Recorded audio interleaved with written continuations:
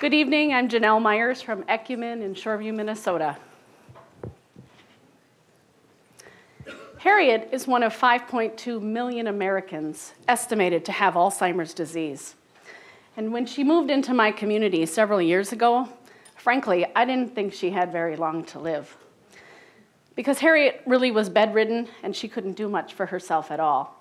She had been medicated heavily at the previous home she was in because she had behaviors related to her dementia.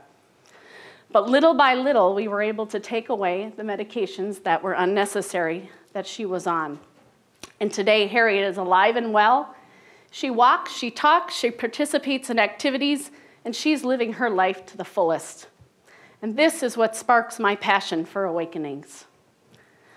Elders with dementia deserve to have a better life. They deserve love, dignity, and respect.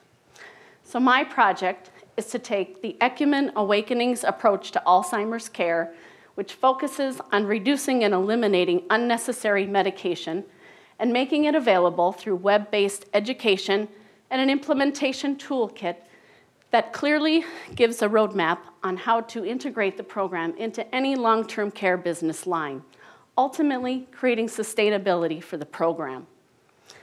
Awakenings began in 2009 in Ecumen nursing homes, and this year I'm proud to say that I'm part of a team integrating that program into 14 assisted living sites. Through this process of action learning, I have been challenged to find a project that really resonated deep in my soul.